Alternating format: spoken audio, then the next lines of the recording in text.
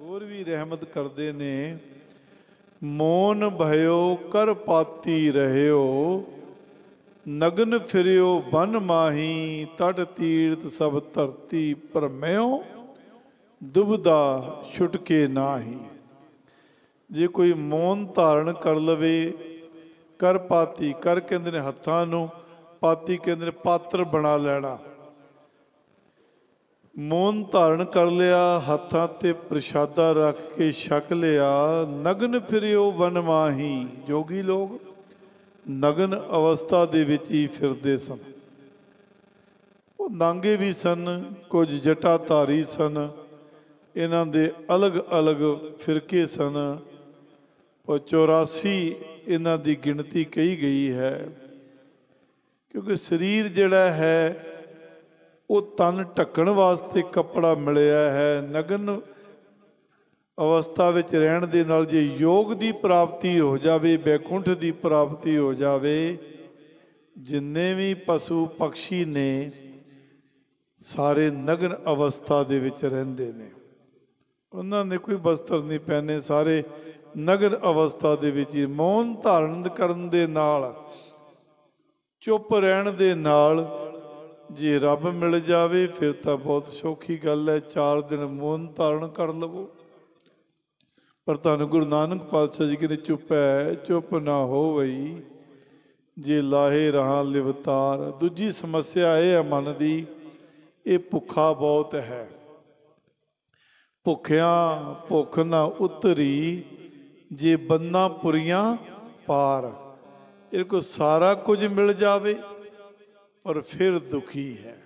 ਭੁੱਖ ਨਹੀਂ ਉਤਰਦੀ। ਧੰਨ ਗੁਰੂ ਨਾਨਕ ਪਾਤਸ਼ਾਹ ਜੀ ਮਹਾਰਾਜ ਨੇ ਜ਼ਿਕਰ ਕੀਤਾ ਹੈ ਗੁਰਬਾਣੀ ਦੇ ਵਿੱਚ। ਆਪ ਜੀ ਰਹਿਮਤ ਕਰਦੇ ਨੇ, ਬਖਸ਼ਿਸ਼ ਕਰਦੇ ਨੇ। ਜੇ ਜੁਗ ਚਾਰੇ ਆਰਜਾ, ਹੋਰ ਦਸੂਣੀ ਹੋਏ। ਜੇ ਕਿਸੇ ਦੀ ਚਾਰ ਯੁਗਾਂ ਦੇ ਬਰਾਬਰ ਉਮਰ ਹੋ ਜਾਵੇ, ਭਾਵੇਂ ਨਹੀਂ ਹੋ ਸਕਦੀ। ਉਦਾਹਰਣ ਦੇ ਤੌਰ ਤੇ ਸਮਝ ਲੈਣਾ, ਸਤਿਗੁਰੂ ਜੀ ਕਹਿੰਦੇ ਨੇ, ਇੱਥੇ ਹੀ ਬਸ ਨਹੀਂ, ਹੋਰ ਦਸੂਣੀ ਹੋਏ। ਇਸ ਤੋਂ ਵੀ ਜ਼ਿਆਦਾ 10 ਗੁਣੀ ਹੋਰ ਹੋ ਜਾਵੇ। ਨਵਾਂ ਖੰਡਾਂ ਵਿੱਚ ਜਾਣੀਏ, ਨਾਲ ਚੱਲੇ ਸਭ ਕੋਏ। ਨੌਖੰਡ ਧਰਤੀ ਦੇ ਲੋਕ ਉਸ ਨੂੰ ਜਾਣਨ ਲੱਗ ਪੈਣ ਤੇ ਉਹ ਕਿਸੇ ਇਨਸਾਨ ਨੂੰ ਕੇਵਲ ਤੇ ਕੇਵਲ ਪਰਿਵਾਰ ਦੇ ਹੀ ਮੈਂਬਰ ਜਾਣਦੇ ਨੇ ਜਾਂ ਰਿਸ਼ਤੇਦਾਰ ਜਾਣਦੇ ਨੇ ਕਿ ਫਲਾਣਾ ਕੋਈ ਹੈ।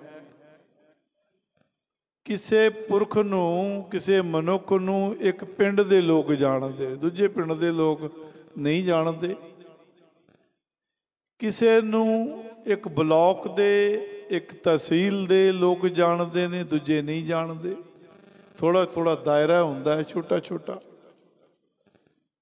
ਕਿਸੇ ਨੂੰ ਇੱਕ ਡਿਸਟ੍ਰਿਕਟ ਦੇ ਲੋਕ, ਕਿਸੇ ਨੂੰ ਇੱਕ ਸੂਬੇ ਦੇ ਲੋਕ, ਇੱਕ ਰਾਜ ਦੇ ਲੋਕ ਜਾਂ ਇੱਕ ਧਰਤੀ ਦੇ ਲੋਕ ਜਾਣਦੇ ਹੋਣ, ਪਰ ਧੰਨ ਗੁਰੂ ਨਾਨਕ ਪਾਤਸ਼ਾਹ ਜੀ ਕੇ ਰਹਿਮਤ ਕਰਦੇ ਨੇ, ਨਵਾਂ ਖੰਡਾਂ ਵਿੱਚ ਜਾਣੀਏ। ਕੋਈ ਐਸਾ ਮਨੁੱਖ ਜਿਸ ਨੂੰ ਨੌਖੰਡ ਧਰਤੀ ਦੇ ਲੋਕ ਜਾਣਦੇ ਹੋਣ ਤੇ ਨੌਖੰਡ ਧਰਤੀ ਦਾ ਉਹ ਬਾਦਸ਼ਾਹ ਹੋਵੇ। ਨੌਖੰਡ ਧਰਤੀ ਦੇ ਲੋਕ ਉਸ ਨੂੰ ਸਿਜਦੇ ਕਰਦੇ ਹੋਣ।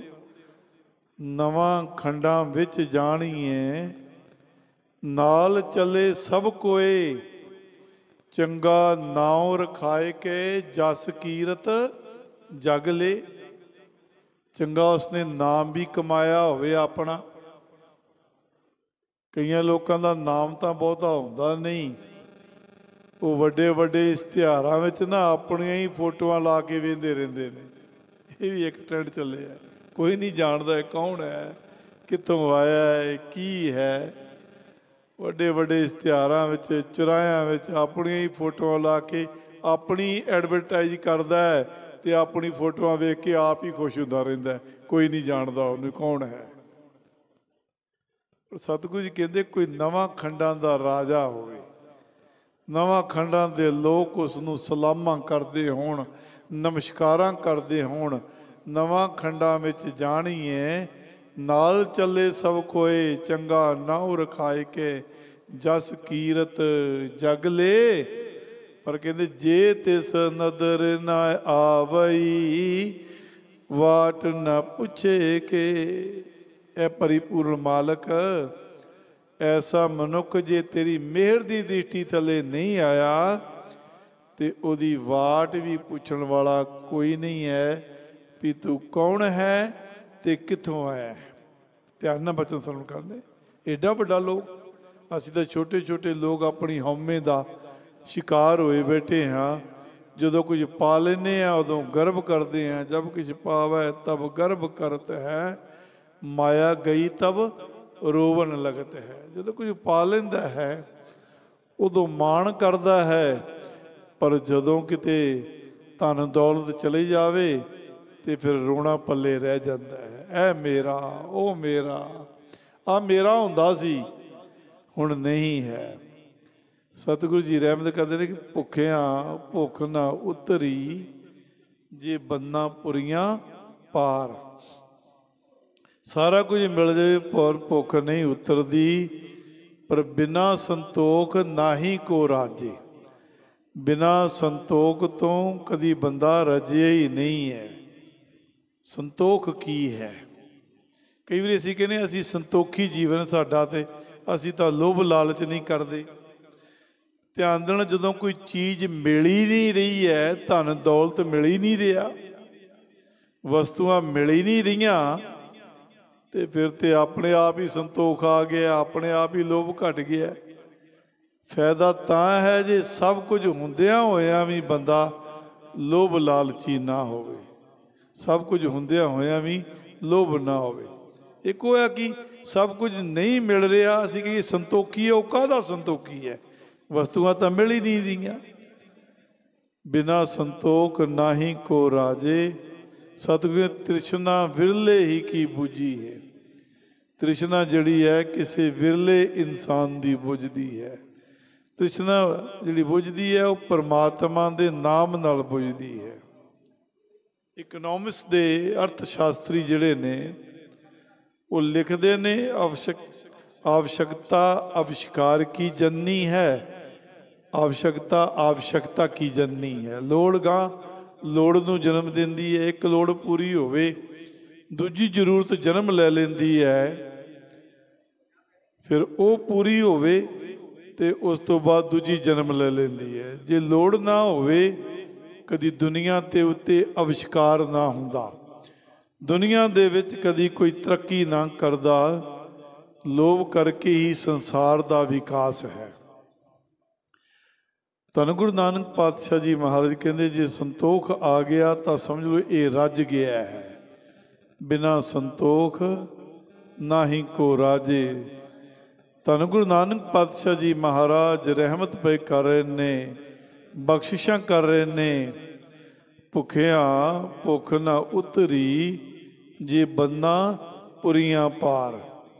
ਫਿਰ ਇਸ ਤੋਂ ਅੱਗੇ ਕਹਿੰਦੇ, ਬੰਦਾ ਸਿਆਣਾ ਬੜਾ ਹੈ, ਸਿਆਣਪਾਂ ਬੜੀਆਂ ਨੇ। ਸਹਿ ਸਿਆਣਪਾਂ ਲੱਖ ਹੋਏ, ਤਾਂ ਇੱਕ ਨਾ ਚੱਲੇ ਨਾਲ ਚਲਾਕੀਆਂ, ਸਿਆਣਪਾਂ, ਚਤੁਰਾਈਆਂ, ਇਸ ਦੇ ਪਾਸ ਬਹੁਤ ਨੇ। ਪਰ ਸਤਿਗੁਰੂ ਕਹਿੰਦੇ, ਇਹ ਸਿਆਣਪਾਂ, ਇਹ ਚਲਾਕੀਆਂ, ਇਹ ਚੁਸਤੀਆਂ, ਤੇਰੀਆਂ ਸੰਸਾਰ ਤੱਕ ਹੀ ਸੀਮਤ ਨੇ। ਪਰਮਾਤਮਾ ਦੇ ਦਰ ਤੇ ਚਲਾਕੀ ਚੁਸਤੀ ਪ੍ਰਵਾਨ ਨਹੀਂ ਹੈ। ਪਰਮਾਤਮਾ ਦੇ ਦਰ ਤੇ ਚੰਚਲ ਮਤ ਵੀ ਪ੍ਰਵਾਨ ਨਹੀਂ ਹੈ, ਚਤਰਾਈ ਦੇ ਨਾਲ ਕਿਸੇ ਨੇ ਪਰਮਾਤਮਾ ਨੂੰ ਨਹੀਂ ਪਾਇਆ। ਇਹ ਮਨ ਚੰਚਲਾ, ਚਤਰਾਈ ਕਿਨੇ ਨਾ ਪਾਇਆ। ਚਲਾਕੀਆਂ ਚੁਸਤੀਆਂ ਦੇ ਨਾਲ ਕਦੀ ਕਿਸੇ ਨੇ ਪਰਮਾਤਮਾ ਨੂੰ ਨਹੀਂ ਪਾਇਆ। ਸੰਸਾਰ ਵਿੱਚ ਇੱਕ ਦੂਜੇ ਨੂੰ ਤਾਂ ਬੇਕੂਫ ਬਣਾ ਸਕਦਾ ਹੈ। ਚਲਾਕੀਆਂ ਚੁਸਤੀਆਂ ਦੇ ਨਾਲ ਸੰਸਾਰ ਇੱਕ ਦੂਜੇ ਨੂੰ ਬੇਕੂਫ ਬਣਾ ਸਕਦਾ ਹੈ। ਪਰ ਪਰਮਾਤਮਾ ਦੇ ਦਰ ਤੇ ਕਦੀ ਪ੍ਰਵਾਨ ਨਹੀਂ ਹੁੰਦਾ। ਪਰਮਾਤਮਾ ਦੇ ਦਰ ਤੇ ਤਾਂ ਉਹ ਹੀ ਇਨਸਾਨ ਪ੍ਰਵਾਨ ਹੈ, ਭੋਲੇ ਪਾਏ ਮਿਲੇ ਰਗੁਰਾਇਆ ਭੋਲਾਪਨ ਹੈ। ਉਹ ਰਗੁਰਾਇਆ ਪਰਮਾਤਮਾ ਮਿਲ ਜਾਂਦਾ ਹੈ, ਭਗਤ ਧੰਨਾ। ਬਹੁਤ ਸਿੱਧਾ ਸਾਦਾ ਜੱਟ। ਕੁਝ ਵੀ ਉਸ ਦੇ ਪਾਸ ਨਹੀਂ ਸੀ ਪਰ ਪੰਡਤ ਨੇ ਚਲਾਕੀ ਕਰਕੇ ਠਾਕੁਰ ਦੇ ਦਿੱਤਾ, ਇੱਕ ਪੱਥਰ ਦੇ ਦਿੱਤਾ ਤੇ ਉਹਦੇ ਬਦਲੇ 'ਚ ਨਾ ਗਊ ਲੈ ਲਈ। ਠੱਗੀ ਮਾਰੀ। ਦੁੱਧ ਦੇਣ ਵਾਲੀ ਗਊ ਲੈ ਲਈ, ਚੁੱਕ ਕੇ ਪੱਥਰ ਸਾਲ ਗ੍ਰਾਮ ਫੜਾ ਦਿੱਤਾ ਤੇ ਕਹਿ ਦਿੱਤਾ ਵੀ ਠਾਕੁਰ ਨੂੰ ਭੋਗ ਲਗਾ ਕੇ ਤੇ ਫੇਰ ਪ੍ਰਸ਼ਾਦਾ ਛਕਣਾ। ਉਹਨੂੰ ਭੋਲੇ ਪਾਲ ਜੱਟ ਨੂੰ ਪਤਾ ਨਹੀਂ ਸੀ ਵੀ ਇਹ ਭੋਗ ਕਿਸ ਤਰ੍ਹਾਂ ਲੱਗਦਾ ਹੈ। ਉਹਦਾ ਥੋੜਾ ਜਿਹਾ ਤਿਲਕ ਲਗਾ ਕੇ ਥੋੜਾ ਜਿਹਾ ਖਾਣਾ ਕੱਢ ਕੇ, ਬਾਕੀ ਆਪ ਛਕ ਲੈਂਦੇ ਸਨ। ਹੁਣ ਭਗਤ ਧੰਨੇ ਨੇ ਪ੍ਰਸ਼ਾਦਾ ਬਣਾਇਆ, ਰੋਟੀਆਂ ਬਣਾਈਆਂ, ਸਾਗ ਬਣਾਇਆ, ਮੱਕੀ ਦੇ ਪ੍ਰਸ਼ਾਦੇ, ਜੋ ਜੱਟਾਂ ਦਾ ਖਾਣਾ। ਥਾਲੀ ਵਿੱਚ ਰੱਖ ਕੇ ਨਹਾ ਧੋ ਕੇ ਕਹਿੰਦਾ, ਮਹਾਰਾਜ, ਮੈਨੂੰ ਪੂਜਾ ਕਰਨ ਦਾ ਢੰਗ ਦਾ ਤਾਂ ਪਤਾ ਨਹੀਂ, ਮਹਾਰਾਜ, ਆ ਪ੍ਰਸ਼ਾਦਾ ਤਿਆਰ ਕਰ ਲਿਆ ਹੈ ਤੇ ਤੁਸੀਂ ਲੰਗਰ ਪ੍ਰਵਾਨ ਕਰੋ, ਲੰਗਰ ਛਕਣਾ ਕਰੋ। ਉਹ ਫਿਰ ਲੰਗਰ ਨਹੀਂ ਛਕਿਆ। ਕਹਿੰਦੇ ਜੇ ਤੂੰ ਨਹੀਂ ਖਾਣਾ ਤੇ ਮੈਂ ਵੀ ਨਹੀਂ ਛਕਣਾ। ਤੈਨੂੰ ਭੁੱਖ ਨਹੀਂ ਤੇ ਮੈਨੂੰ ਕਾਦੀ ਭੁੱਖ ਹੈ? ਮੈਂ ਵੀ ਲੰਗਰ ਨਹੀਂ ਛਕਣਾ। ਸਿੱਧਕ ਵੇਖਿਆ, ਵਿਸ਼ਵਾਸ ਵੇਖਿਆ, ਭਗਤ ਧੰਨੇ ਦਾ ਤੇ ਠਾਕੁਰ ਵਿੱਚੋਂ ਆਵਾਜ਼ ਆਈ, ਭਗਤ ਧੰਨਿਆ, ਕਦੀ ਪੱਥਰ ਵੀ ਰੋਟੀ ਖਾਂਦੇ ਨੇ। ਕਦੀ ਪੱਥਰ ਵੀ ਰੋਟੀ ਖਾਂਦੇ ਨੇ। ਧੰਨੇ ਨੂੰ ਇੰਨੀ ਸਮਝ ਆ ਗਈ। ਕਹਿਣ ਲੱਗਾ, ਹਾਂ ਮਹਾਰਾਜ, ਮੈਨੂੰ ਪਤਾ ਹੈ ਕਿ ਪੱਥਰ ਰੋਟੀ ਨਹੀਂ ਖਾਂਦੇ ਤੇ ਕਦੀ ਪੱਥਰ ਵੀ ਬੋਲਦੇ ਨੇ। ਮੈਂ ਕਦੀ ਪੱਥਰਾਂ ਨੂੰ ਬੋਲਦਿਆਂ ਹੋਇਆ ਨਹੀਂ ਦੇਖਿਆ। ਮਹਾਰਾਜ, ਇਸ ਤਰ੍ਹਾਂ ਨਾਟਕ ਮੇਰੇ ਨਾਲ ਨਾ ਕਰੋ। ਮੇਰੇ ਨਾਲ ਬੈਠ ਕੇ ਤੇ ਪ੍ਰਸ਼ਾਦਾ ਛਕੋ। ਸਤਿਗੁਰੂ ਜੀ ਦੀ ਗੁਰਬਾਣੀ ਦਾ ਫਰਮਾਨ ਹੈ, ਪਰਮਾਤਮਾ ਨੂੰ ਫਿਰ ਪ੍ਰਤੱਖ ਸਾਹਮਣੇ ਬੈਠ ਕੇ ਤੇ ਦਰਸ਼ਨ ਦੇਣੇ ਪਏ, ਮਿਲੇ ਪ੍ਰਤੱਖ ਗੁਸਈਆਂ ਧੰਨਾ ਵੱਡ ਪਾਗਾ ਧੰਨਾ ਵੱਡਿਆਂ ਭਾਗਾਂ ਵਾਲਾ ਹੈ ਤੇ ਪ੍ਰਤੱਖ ਤੌਰ ਤੇ ਪਰਮਾਤਮਾ ਨੇ ਉਸ ਨੂੰ ਦਰਸ਼ਨ ਦਿਦਾਰੇ ਦਿੱਤੇ, ਪ੍ਰਤੱਖ ਤੌਰ ਤੇ। ਸਾਹਮਣੇ ਬੈਠ ਕੇ ਪ੍ਰਸ਼ਾਦਾ ਵੀ ਛਕਿਆ, ਸਾਹਮਣੇ ਬੈਠ ਕੇ ਲੰਗਰ ਵੀ ਛਕਿਆ ਔਰ ਫਿਰ ਉਹਦੇ ਕੰਮ ਵੀ ਕੀਤੇ। ਮਾਰੇ ਕਹਿੰਦੇ, ਕੰਮ ਦੱਸ ਭਾਈ, ਕਹਿੰਦਾ ਖੂਆ ਚਲਾਓ, ਨਾਲ ਡੰਗਰ ਚਾਰਨੇ ਨੇ। ਡੰਗਰ ਵੀ ਚਾਰੋ ਤੇ ਭਗਤ ਤੰਨਿਆ ਮੰਗ, ਤੇਰੀ ਮੰਗ ਕੁਝ ਹੈ? ਮੰਗਾਂ ਸਾਡੀਆਂ ਵੀ ਗੁਰੂ ਨਾਨਕ ਦੇ ਚਰਨਾਂ ਵਿੱਚ ਬੜੀਆਂ ਨੇ। ਅਸੀਂ ਵੀ ਬੜੀਆਂ ਮੰਗਾਂ ਮੰਗਦੇ ਰਹਿੰਦੇ ਆ ਅਸੀਂ ਨਹੀਂ ਸਾਰਾ ਜਗਤੀ ਭਿਖਾਰੀਆਂ ਨਾਲ ਭਰਿਆ ਪਿਆ ਹੈ। ਸਾਰਾ ਜਗਤੀ ਭਿਖਾਰੀ ਹੈ। ਸਾਰੇ ਲੋਕ ਹੀ ਮੰਗਦੇ ਨੇ। ਸਤਿਗੁਰੂ ਜੀ ਦਾ ਫਰਮਾਨ ਹੈ, ਜਗਤ ਭਿਖਾਰੀ ਫਿਰਤ ਹੈ। ਸਭ ਕੋ ਦਾਤਾ ਰਾਮ। ਸਾਰਿਆਂ ਨੂੰ ਦਾਤਾਂ ਦੇਣ ਵਾਲਾ RAM ਮਾਲਕ ਆਪ ਹੈ। ਜਗਤ ਭਿਖਾਰੀਆਂ ਨਾਲ ਭਰਿਆ ਪਿਆ ਹੈ। ਸਾਰੇ ਲੋਕ ਅਸੀਂ ਮੰਗਤੇ ਆ ਸਾਰਿਆਂ ਨੂੰ ਦਾਤਾਂ ਦੇਣ ਵਾਲਾ ਪਰਮਾਤਮਾ ਆਪ ਹੈ। ਭਗਤ ਧੰਨੇ ਨੇ ਫਿਰ ਮੰਗਿਆ ਪਤਾ ਕੀ? ਦਾਲ ਸੀਦਾ ਮੰਗੂ ਘੀਓ ਹਮਰਾ ਖੁਸ਼ੀ ਕਰੇ ਨਿਤ ਜੀਓ ਪਨੀਆਂ ਸ਼ਾਦਨ ਨੀਕਾ ਅਨਾਜ ਮੰਗੂ ਸਤ ਸੀਕਾ ਗਊ ਭੈਸ ਮੰਗੂ ਲਵੇਰੀ ਇਕ ਤਾਜਨ ਤੁਰੀ ਚੰਗੇਰੀ ਘਰ ਕੀ ਗੀ ਹਨ ਚੰਗੀ ਜਨ ਧੰਨਾ ਲੇਵੇ ਮੰਗੀ ਮਹਾਰਾਜ ਸੱਤ ਤਰ੍ਹਾਂ ਦਾ ਅਨਾਜ ਦੇ ਦਿਓ ਦੋ ਅਰਥ ਬਣਦੇ ਨੇ ਸੱਤ ਸੀਆਂ ਸੱਤ ਵਾਰ ਵਾਇਆ ਹੋਇਆ ਔਰ ਪੋਲੀ ਜ਼ਮੀਨ ਜਾਂ ਸੱਤ ਤਰ੍ਹਾਂ ਦਾ ਅਨਾਜ, ਉਹ ਮੈਨੂੰ ਦੇਣਾ ਕਰੋ। ਦਾਲ ਸਿੱਧਾ ਮੰਗੂ ਘਿਓ, ਦਾਲਾਂ ਵੀ ਚਾਹੀਦੀਆਂ ਨੇ, ਘਿਓ ਵੀ ਚਾਹੀਦਾ ਹੈ, ਆਟਾ ਵੀ ਚਾਹੀਦਾ ਹੈ, ਸਾਰਾ ਕੁਝ ਤਾਂ ਚਾਹੀਦਾ ਹੈ ਨਾ। ਛਕਣ ਵਾਸਤੇ ਦੇਖੋ ਭੋਜਨ ਚਾਹੀਦੇ ਨੇ। ਕਿਉਂਕਿ ਭੁੱਖੇ ਭਗਤ ਨਾ ਕੀਜੈ, ਜੇ ਮਾਲਾ ਆਪਣੀ ਲੀਜੇ। ਸਿਆਣਿਆਂ ਦਾ ਖਾਣ ਹੈ, ਪੇਟ ਨਾ ਪਈਆਂ ਰੋਟੀਆਂ ਤਾਂ ਸਭੇ ਗੱਲਾਂ ਖੋਟੀਆਂ। ਦੇਖੋ ਹੁਣ ਮਹਾਂਪੁਰਸ਼ਾਂ ਦੇ ਗੁਰੂ ਘਰ ਦੇ ਵਿੱਚ ਮਹਾਨ ਲੰਗਰ ਲਗਵਾਏ ਹੋਏ ਨੇ, ਤਰ੍ਹਾਂ ਤਰ੍ਹਾਂ ਦੇ ਪਕਵਾਨ ਬਣੇ ਹੋਏ ਨੇ, ਪਦਾਰਥ ਬਣੇ ਹੋਏ ਨੇ। ਅਸੀਂ ਖਾ ਖਾ ਕੇ ਥੱਕ ਜਾਂਦੇ ਆ ਪਰ ਪਰਿਪੂਰਨ ਮਾਲਕ ਦੇ ਲੰਗਰ ਵਿੱਚ ਕਦੀ ਕੋਈ ਕਮੀ ਨਹੀਂ ਆਉਂਦੀ। ਖਾਵੋ, ਖਰਚੋ, ਰਲ ਮਿਲ ਭਾਈ। ਟੋਟ ਨਾ ਆਵੇ, ਵੱਧ ਤੋਂ ਜਾਈ। ਖਾਂਦੇ ਆ, ਖਰਚਦੇ ਆ, ਪਰ ਉਹ ਲੰਗਰ ਵੱਧਦਾ ਹੀ ਜਾਂਦਾ ਹੈ, ਬਰਕਤ ਪੈਂਦੀ ਹੀ ਜਾਂਦੀ ਹੈ। ਮਹਾਰਾਜ, ਦਾਲ ਵੀ ਚਾਹੀਦੀ ਹੈ, ਘਿਓ ਵੀ ਚਾਹੀਦਾ ਹੈ। ਪਨੀਆਂ, ਸ਼ਾਦਨ, ਨੀਕਾ ਪਾਉਣ ਵਾਸਤੇ ਕੱਪੜੇ ਵੀ ਚਾਹੀਦੇ ਨੇ। ਅਨਾਜ ਮੰਗੂ ਸਤ ਸੀਕਾ ਗਊ, ਭੈਸ ਮੰਗੂ ਲਵੇਰੀ। ਦੁੱਧ ਦੇਣ ਵਾਲੀ ਗਊ ਚਾਹੀਦੀ ਹੈ, ਕੋਈ ਫੰਡਰ ਆਦਿਕ ਨਹੀਂ ਚਾਹੀਦੀ ਵੀ ਜਿਹੜੀ ਦੁੱਧ ਹੀ ਨਾ ਦਿੰਦੀ ਹੋਵੇ। ਲਵੇਰੀ ਚਾਹੀਦੀ ਹੈ, ਕਿਉਂਕਿ ਦੁੱਧ ਵੀ ਘਰ ਵਿੱਚ ਚਾਹੀਦਾ ਹੈ ਨਾ। ਗਊ ਭੈਸ ਮੰਗੂ ਲਾਵੇਰੀ, ਇੱਕ ਤਾਜਨ ਤੁਰੀ, ਚੰਗੇਰੀ, ਇੱਕ ਘੋੜੀ ਵੀ ਚਾਹੀਦੀ ਹੈ। ਅੱਜ ਅਸੀਂ ਗੱਡੀਆਂ ਮੰਗਦੇ ਨਾ, ਕਾਰਾਂ ਮੰਗਦੇ ਆ ਮੋਟਰਸਾਈਕਲ ਮੰਗਦੇ ਆ ਇਹ ਅੱਜ ਦੇ ਜ਼ਮਾਨੇ ਦੇ ਘੋੜੇ ਨੇ। ਮੋਟਰਸਾਈਕਲ ਨੂੰ ਘੋੜਾ ਸਮਝ ਲਓ ਗੱਡੀ ਨੂੰ ਰੱਤ ਸਮਝ ਲਓ। ਪੁਰਾਣੇ ਸਮੇਂ ਜਿਹੜਾ ਅਮੀਰ ਹੁੰਦਾ ਸੀ, ਉਹਦੇ ਪਾਸ ਰੱਤ ਹੁੰਦੇ ਸਨ, ਜਿਹੜਾ ਕੋਈ ਮਾਤੜ ਹੁੰਦਾ ਸੀ, ਉਹਦੇ ਪਾਸ ਘੋੜੇ ਹੁੰਦੇ ਸਨ। ਕੇਵਲ ਰੂਪ ਬਦਲਿਆ ਹੈ, ਹੋਰ ਕੁਝ ਨਹੀਂ ਹੈ। ਰੂਪ ਹੀ ਬਦਲਿਆ, ਹੋਰ ਕੀ ਹੈ? ਘੋੜਿਆਂ ਤੇ ਚੜ ਕੇ ਅਸੀਂ ਦੂਰ ਚਲੇ ਜਾਂਦੇ ਆ ਮੋਟਰਸਾਈਕਲ ਤੇ ਵੀ ਦੂਰ ਨਿਕਲ ਜਾਂਦੇ ਆ ਰੱਥਾਂ ਤੇ ਅਮੀਰ ਲੋਕ ਜਾਂਦੇ ਸਨ, ਅੱਜ ਅਮੀਰ ਲੋਕ ਕਾਰਾਂ, ਗੱਡੀਆਂ ਤੇ ਆ ਜਾਂਦੇ ਨੇ। ਮਹਾਰਾਜ, ਇੱਕ ਘੋੜੀ ਚਾਹੀਦੀ ਹੈ।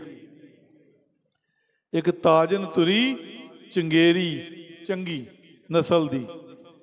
ਤੇ ਸਭ ਕੁਝ ਮੰਗ ਲਿਆ, ਮੈਂ ਹੈਰਾਨ ਹੁੰਨਾ, ਭਗਤ ਧੰਨ ਨੇ ਇੱਕ ਗੱਲ ਬੜੀ ਚੰਗੀ ਮੰਗੀ। ਕਹਿੰਦਾ, ਘਰ ਕੀ ਗੀ ਹਨ ਚੰਗੀ? ਮਹਾਰਾਜ ਘਰ ਵਾਲੀ ਵੀ ਚੰਗੀ ਦੇ ਦਿਓ। ਜਨ ਧੰਨਾ ਲੈਵੇ, ਮੰਗੀ। ਮੈਂ ਧੰਨਾ ਭਗਤ, ਤੇਰਾ ਘਰ ਘਰ ਵਾਲੀ ਚੰਗੀ ਮੰਗਦਾ ਹਾਂ। ਸਾਰਾ ਕੁਝ ਮਿਲ ਗਿਆ, ਤੇ ਰੋਟੀ ਪਕਾਉਣ ਵਾਲੀ ਵੀ ਤਾਂ ਚੰਗੀ ਚਾਹੀਦੀ ਹੈ ਨਾ ਚੰਗੇ ਸੁਭਾਅ ਦੀ ਹੋਵੇ ਜਿਹੜੇ ਅਸੀਂ ਕਹਿੰਦੇ ਨੇ 16 ਸ਼ਿੰਗਾਰ, ਬੀਬੀਆਂ ਦੇ, ਔਰਤ ਦੇ 16 ਸ਼ਿੰਗਾਰ, ਇਹ ਸ਼ਿੰਗਾਰ ਬਾਹਰ ਦੇ ਨਹੀਂ ਹਨ, ਇਹ ਅੰਦਰ ਦੇ ਵੀ ਸ਼ਿੰਗਾਰ ਨੇ ਚੰਗੇ ਕੱਪੜੇ ਪਾਉਣ ਦੀ ਅਕਲ ਹੋਵੇ ਬਹਿਣ ਸਹਿਣ ਦੀ ਅਕਲ ਹੋਵੇ ਆਏ ਗਏ ਦੀ ਸੇਵਾ ਕਰਨ ਦੀ ਅਕਲ ਹੋਵੇ ਬੱਚੇ ਪਾਲਣ ਦੀ ਅਕਲ ਹੋਵੇ ਦੁੱਖ दारू ਵਿੱਚ ਦਵਾ दारू ਦੀ ਅਕਲ ਹੋਵੇ ਖਾਣ ਪੀਣ ਦੀ ਅਕਲ ਹੋਵੇ ਖਾਣੇ ਬਣਾਉਣ ਦੀ ਅਕਲ ਹੋਵੇ ਬਹੁਤ ਜ਼ਿਆਦਾ ਇਹ 16 ਸ਼ਿੰਗਾਰ ਇਸ ਕਰਕੇ ਮੰਨੇ ਜਾਂਦੇ ਚੰਗੇ ਗੁਣਾਂ ਵਾਲੀ ਹੋਵੇ ਤੇ ਮੁ- ਜੀਭਾ ਤੇ ਮਿਠਾਸ ਹੋਵੇ ਇਹ ਨਾ ਹੋਵੇ ਪਤੀ ਪਰਮੇਸ਼ਰ ਤੇ ਚਾਰ ਸਿੰਘਾਂ ਨੂੰ ਲੈ ਕੇ ਘਰ ਆ ਜਾਵੇ ਤੇ ਫਿਰ ਪਤੀ ਦਾ ਜਿਹੜਾ ਹਾਲ ਰਸੋਈ ਵਿੱਚ ਹੋਵੇ ਤੇ ਫਿਰ ਉਹ ਵਿਚਾਰਾ ਉਹ ਆਪ ਹੀ ਜਾਣਦਾ ਵੀ ਕਿਉਂ ਲੈ ਕੇ ਆ ਗਏ ਹੋ ਮੇਰੇ ਕੋਲ ਸਿਆਪਾ ਨਹੀਂ ਹੁੰਦਾ, ਮੇਰੇ ਕੋਲ ਭੋਜਨ ਤਿਆਰ ਨਹੀਂ ਹੋਣਾ। ਨਹੀਂ ਪਿਆਰਿਓ, ਗੁਰੂ ਨਾਨਕ ਦੇ ਘਰ ਦਾ ਲੰਗਰ ਬਾਹਰ ਵੀ ਹੈ ਤੇ ਸਾਡੇ ਘਰ ਵਿੱਚ ਵੀ ਹੈ। ਜੇ ਕੋਈ ਆ ਗਿਆ ਹੈ ਉਸ ਨੂੰ ਪ੍ਰਸ਼ਾਦਾ ਛਕਾਓ। ਘਰ ਘਰ ਅੰਦਰ ਧਰਮਸ਼ਾਲ ਸਾਡਾ ਘਰ ਘਰ ਅੰਦਰ ਧਰਮਸ਼ਾਲ ਤਾਂ ਬਣੇਗੀ ਜੇ ਘਰ ਕੀ ਗੀਹਨ ਚੰਗੀ ਹੋਵੇਗੀ। ਜੇ ਘਰ ਵਾਲੀ ਚੰਗੀ ਹੋਵੇਗੀ, ਧੰਨੇ ਨੇ ਘਰ ਵਾਲੀ ਚੰਗੀ ਮੰਗ ਲਈ, ਕਿਉਂਕਿ ਲੰਗਰ ਪਾਣੀ ਸੇਵਾ ਕਰਨ ਵਾਲੀ ਬਿਰਤੀ ਹੋਵੇ।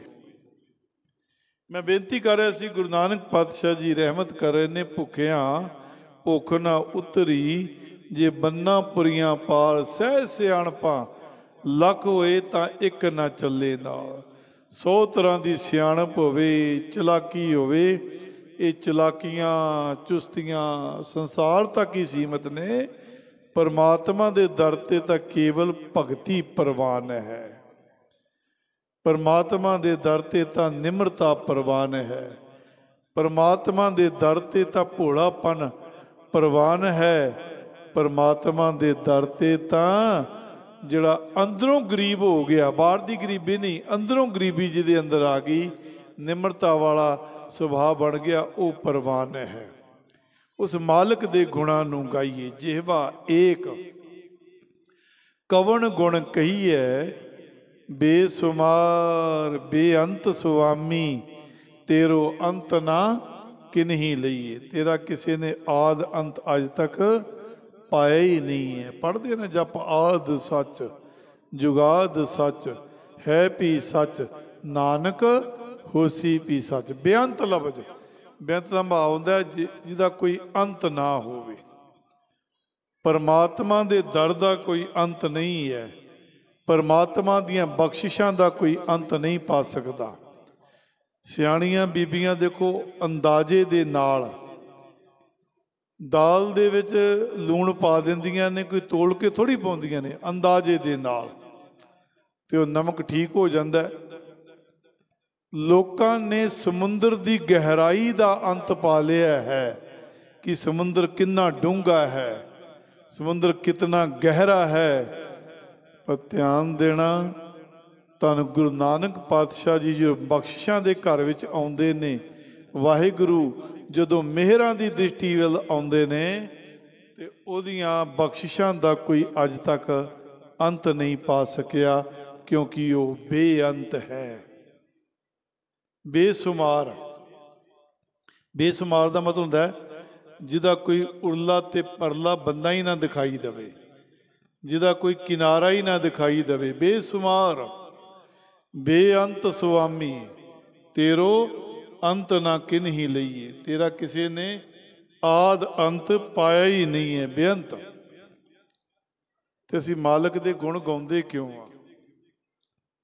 ਧੰਨ ਗੁਰੂ ਨਾਨਕ ਪਾਤਸ਼ਾਹ ਜੀ ਮਹਾਰਾਜ ਕਹਿੰਦੇ ਨੇ, ਅਸੀਂ ਕਿਉਂ ਗੁਰੂ ਨਾਨਕ ਪਾਤਸ਼ਾਹ ਜੀ ਦੇ ਦਰ ਤੇ ਬੈਠੇ ਹੋ ਨਾ? ਮੈਂ ਗੁਰੂ ਨਾਨਕ ਪਾਤਸ਼ਾਹ ਜੀ ਦੀ ਹੀ ਬਾਣੀ ਦੀ ਵਿਆਖਿਆ ਕਰਨ ਦੀ ਕੋਸ਼ਿਸ਼ ਕਰ ਰਿਹਾ। ਮੈਂ ਜਿਹੜਾ ਹੈ, ਕਿਉਂਕਿ ਜਿਸ ਦਰ ਤੇ ਬੈਠੇ ਆ, ਉਹਦੇ ਗੁਣ ਗਾਈਏ। ਜਪਜੀ ਸਾਹਿਬ ਜੀ ਦੇ ਅੰਦਰ ਸਤਿਗੁਰੂ ਜੀ ਕਹਿੰਦੇ ਨੇ, ਅਸੀਂ ਗਾਉਂਦੇ ਕਿਉਂ ਆ? ਸਵਾਲ ਉੱਠਦਾ, ਗਾਉਂਦੇ ਕਿਉਂ ਆ? ਅਸੀਂ ਆਪੋ ਆਪਣੀਆਂ ਮਰਜ਼ੀਆਂ ਮੁਤਾਬਕ ਤੇ ਗੁਣ ਗਾਉਂਦੇ ਰਹਿੰਦੇ ਹਾਂ। ਗਾਵੇ ਕੋ ਤਾਣ ਹੋਵੇ ਕਿਸੇ ਤਾਣ। ਗਾਵੇ ਕੋ ਦਾਤ ਜਾਣੇ ਨਿਸ਼ਾਨ। ਗਾਵੇ ਕੋ ਤਾਣ ਹੋਵੇ ਕਿਸੇ ਤਾਣ। ਬਲ, ਤਾਕਤ, ਮਾਣ ਸਨਮਾਨ ਕਰਕੇ ਕੁਝ ਤਾਂ ਲੋਕ ਪਰਮਾਤਮਾ ਨੂੰ ਇਸ ਕਰਕੇ ਗਾਉਂਦੇ ਨੇ ਕਿ ਪਰਮਾਤਮਾ ਤੂੰ ਮੈਨੂੰ ਮਾਣ ਤਾਣ ਦਿੱਤਾ ਹੋਇਆ ਤੂੰ ਮੈਨੂੰ ਬਖਸ਼ਿਸ਼ ਦਿੱਤੀ ਹੋਈ ਹੈ। ਤੂੰ ਮੈਨੂੰ ਬਲ ਦਿੱਤਾ ਹੈ, ਤਾਕਤ ਦਿੱਤੀ ਹੈ। ਗਾਵੇ ਕੋ, ਤਾਣ ਹੋਵੇ ਕਿਸੇ ਤਾਣ।